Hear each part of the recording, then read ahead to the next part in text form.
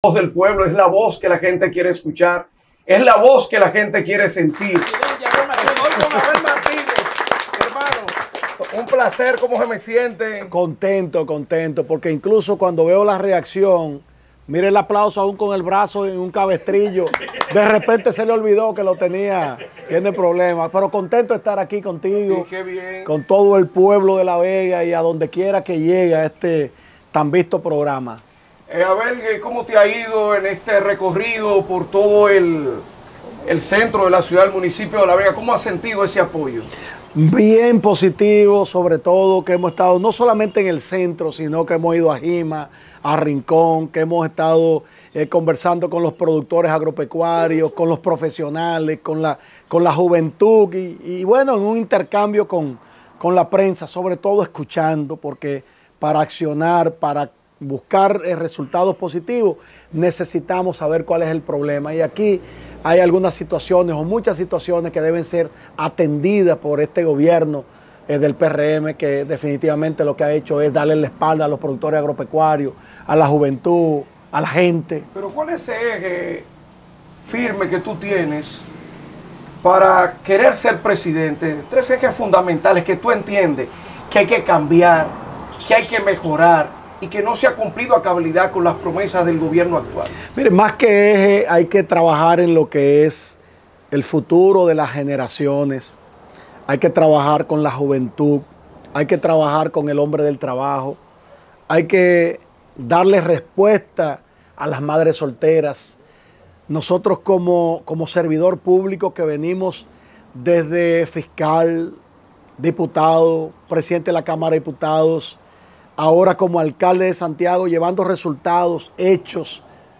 Lo que, lo, lo que necesita este país es no solamente la esperanza de un futuro mejor, es que el presente no esté tan contaminado de, de, estas promesas incumplidas del gobierno actual. El país necesita hechos, el país necesita resultados, el país necesita que, que, que la familia dominicana puedan comer, que la juventud tenga empleos, que tenga oportunidades, que los, los los empresarios, pero los comerciantes y los emprendedores tengan esa certidumbre de echar su empresa hacia adelante, de que su empleomanía tenga ese, ese recurso de, de crecimiento. Y es lo que no está pasando porque hay preocupación.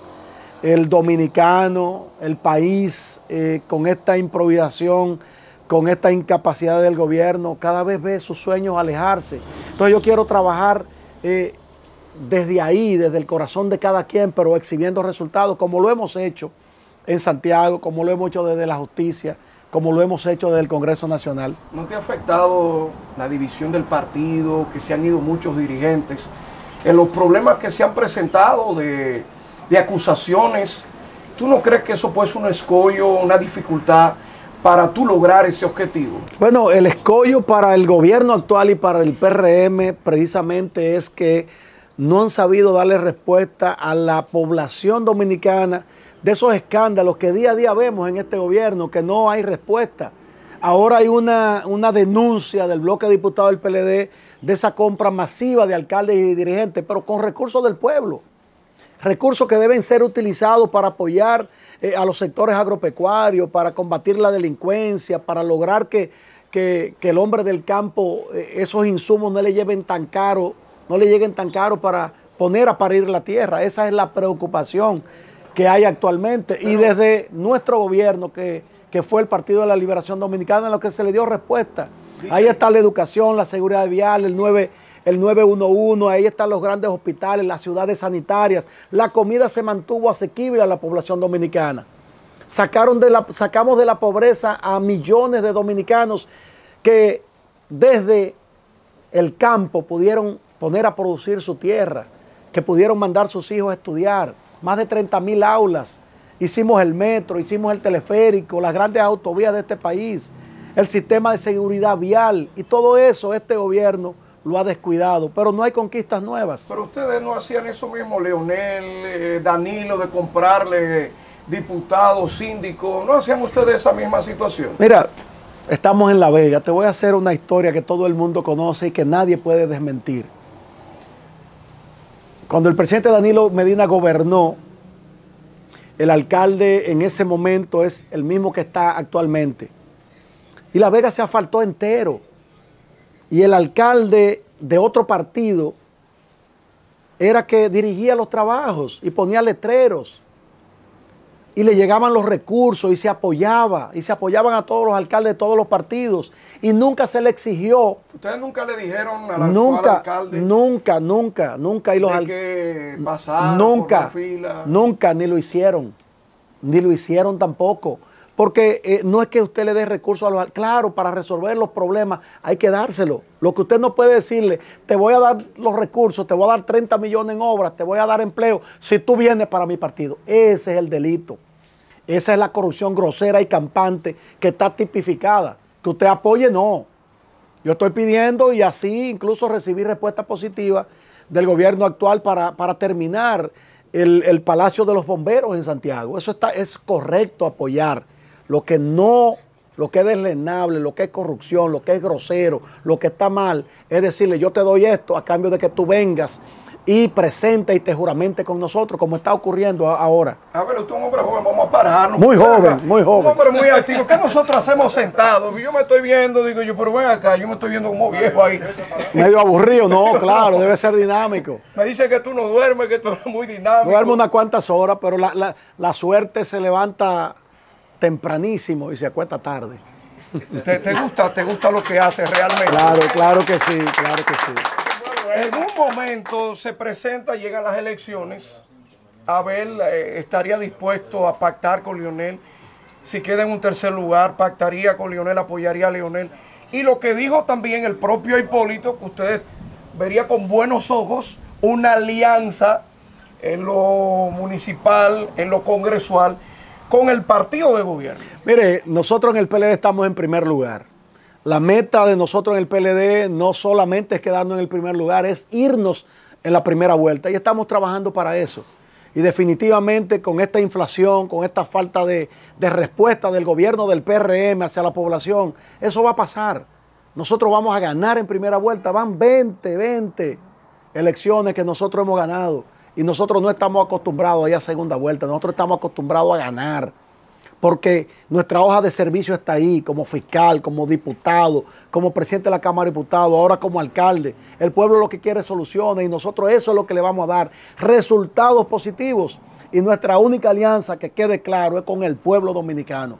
Nuestra alianza es con el hombre de trabajo, nuestra alianza es con la juventud, con las mujeres, con los profesionales. Nuestra alianza es con el hombre del campo, nuestra alianza es con quien necesita que le hablen la verdad, no como este gobierno que llegó mintiendo. Siguen mintiendo en el, estando en el gobierno. Pero ellos dicen que tienen que van a, dice Paliza, y quieren, una entrevista que tiene un 55% que ganaría el presidente Luis Abinader en la primera vuelta. Tienen un 55, pero es de rechazo. Es de rechazo. Eso fue lo que faltó para que dijeran. Es de rechazo. Es de rechazo porque ¿cómo usted piensa reelegirse si la comida está más cara? Si la delincuencia está sin control, si no hay respuesta. Mire lo que está pasando ahora, la, indefensión de, los arroceros. 21 provincias viven de manera primordial del cultivo de arroz. Usted siendo presidente del RD CAFTA, que fue firmado por el PRD.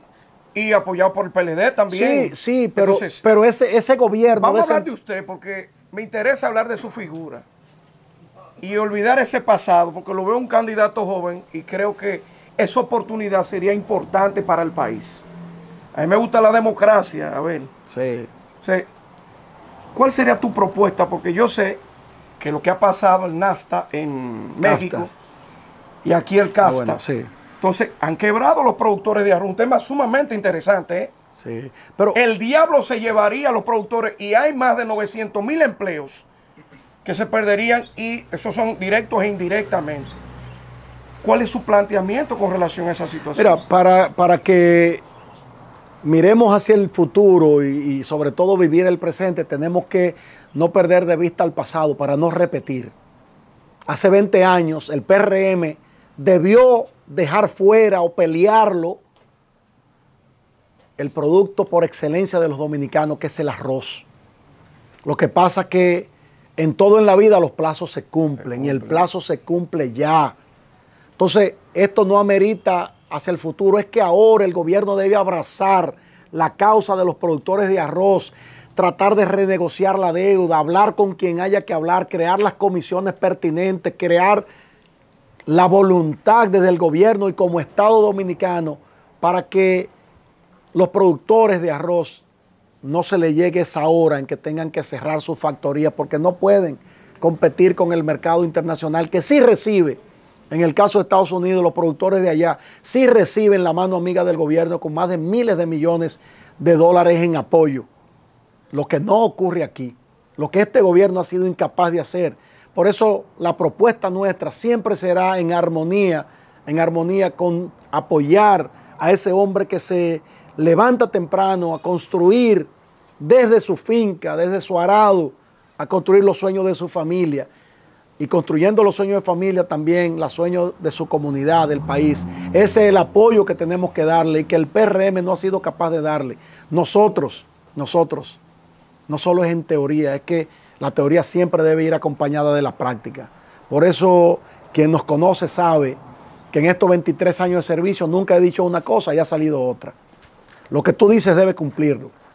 El presidente de la República y el PRM prometieron villas y castillas. Y lo que hemos visto es que esas villas y castillas la han destruido. Y ni siquiera han puesto la zapata para construir una nueva.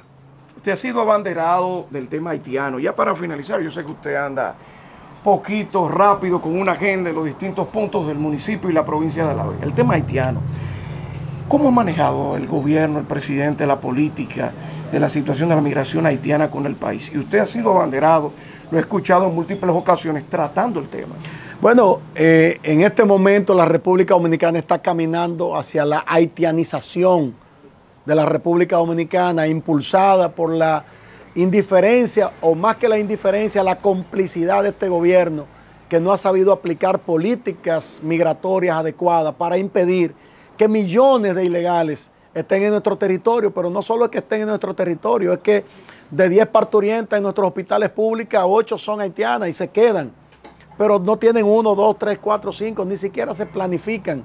Entonces yo, nosotros repetimos y decimos, bienvenidos los extranjeros, no importa que sea alemán, mexicano, peruano, haitiano, pero deben estar en regla en nuestra, en nuestra nación fundada por Duarte, Sánchez y Mella.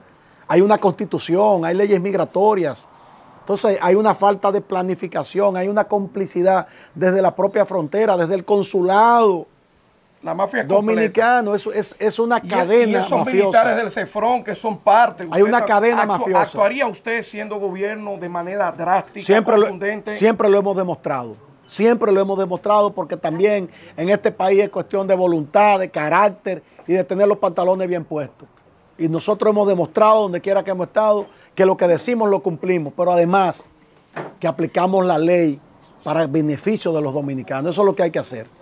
Mire, yo tengo dos preguntitas para finalizar. Me ha gustado, pues, te veo, no te conocía, a ver, eh, personalmente, no te había tratado y veo una persona fácil, chévere, de verdad.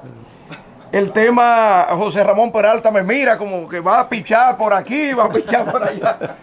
Cógelo suave, José Ramón. El tema de las encuestas, ¿cuál es tu posicionamiento en la actualidad?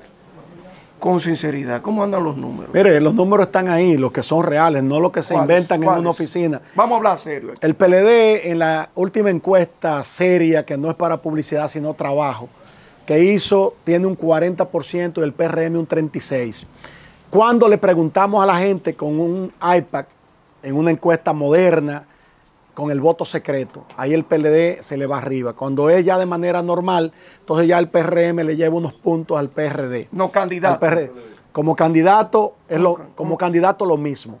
37 a nivel nacional eh, estuvo el candidato del PRM, 35 nosotros. Ahora, hay, una, hay un asunto, en las 14 provincias del Cibao le llevamos 6 puntos al candidato del, de gobierno. Por eso usted entiende que él hizo una casa de visita de gobierno en su ciudad. ¿Usted piensa que hay una preocupación ahí? Bueno, es que, es que eh, eh, usted no debe hacer una casa en una provincia, cuando usted tiene una casa de gobierno, a una provincia usted debe ir a llevar resultados, a llevar obras, a escuchar a la población. Esa casa incluso es al lado de donde yo vivo. Y, y cierran la calle Eso fue muchas veces. fue no, estratégico. no sé, pero. Para no- molestarlo. No, no, no, porque no me molesta. Lo que le molesta a los vecinos cuando cierran la calle, porque creo que, que los presidentes deben estar cercanos a la gente. Bien, para la juventud, porque yo entiendo que muchos presidentes llegan y realmente no cumplen el cometido ni las promesas. Y Oliver, escúchame te interrumpa, ya que me hablaste de encuesta. Sí hay un lugar que el presidente llega más rápido que yo, que está más- me, me- me lleva por delante unos minutos. ¿Cómo es eso? Y es en el tránsito. ¿Por qué? Porque él no coge tapones, yo sí. Ah, por lo... Yo cojo todos los tapones, yo soy un no ciudadano. problema con eso. Vamos a hablar de juventud para finalizar, porque yo sé que tú te tienes que ir. Y qué bueno que toda la dirigencia está presente aquí para de primer escándalo. El bochinche hoy mismo en la Super 7. Y te agradezco esta, esta oportunidad de democracia. Los programas míos son democráticos, no como piensa el amigo mío allí. adelante, adelante. No, pero bueno, eh, contento de estar aquí. Ese mensaje a la juventud. Bueno, el mensaje es que, que estamos trabajando precisamente porque nos duele cuando un joven ve ese futuro incierto, pero además sin, sin oportunidades en el presente. Creemos que hay que sentar las bases para que la juventud tenga un empleo. Nosotros lo hemos demostrado como alcalde. Más de 50 directores allá y, y- el 50% de oportunidades para la juventud. En los puestos clave hay jóvenes, hay juventud y no le exigimos experiencia porque ¿cómo va a adquirir la experiencia si no le da la oportunidad? En un gobierno nuestro, como lo hemos demostrado en la posición que hemos estado, las oportunidades para la juventud no tendrán que regatearla porque se la daremos. Bueno, para despedir Venezuela, ven darle un abrazo porque me está Venezuela pertene- un venezolano colombiano que es Ah, parte bien. del programa. ¿Te vas a juramentar tú con Abel? Bien. De este lado, ven. Mira, disculpa, una preguntita. Ya, para finalizar, darías- porque se para tiene que ir. finalizar, ¿tú le darías el mismo consejo al pueblo dominicano, el consejo que le dio Luis Abinader? No mirar hacia atrás. Bueno, má- más, que consejo, porque a veces hay que mirar atrás, pero para que si cometiste un error, entonces no, no lo vuelvas a cometer. Yo prefiero, cuando miro hacia atrás, entonces veo el 911 que hizo el PLD, veo la, la tanda extendida, la formación docente, veo el metro, veo el teleférico, veo la comida barata, siga, veo no el siga, control no de la delincuencia. Ahora siga. te pregunto yo, ¿ya tú tienes cédula no. dominicana? ¿Tienes cédula dominicana? El corazón es dominicano. Bien, bien. Venga por aquí Bolívar y todo el equipo. Venga Negro Hernández, Johnny Leonardo, José Ramón Peralta, Teto, Héctor López Teto, señores. Programa diferente, como le gusta al pueblo. Y realmente de primera se ha convertido en la voz de los que no tienen voz. Primerísima, no solo de primera, de Así es, primera, de primerísima. primerísima. Ustedes saben el eslogan. Claro que sí. Escándalo de Oliver Peña, el bochinche de la mañana y además hoy mismo en la Super 7 con mi gran amigo Dani Alcántara y gracias a ustedes por permitirnos la entrevista. Te contó Dani que una vez le di una pela en domino. Y no, él me dijo que te ganó. No, no. Y yo le dije, yo quiero jugar No, él. le di una pela. Creo que por eso no me ha invitado más a su casa. Inví- Invíteme a mí que yo Está bien, que pues le voy a enseñar a jugar domino todo. Señores, gracias. Así nosotros hacemos comunicación de primera